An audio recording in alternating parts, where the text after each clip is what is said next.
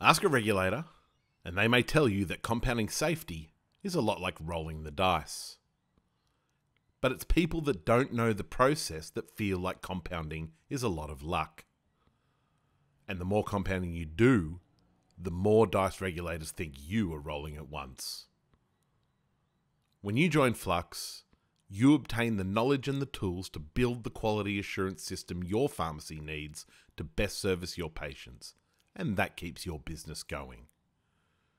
So even if the regulators think you are rolling the dice, show them you can roll sixes every time. Join Flux today. fluxpharma.com.au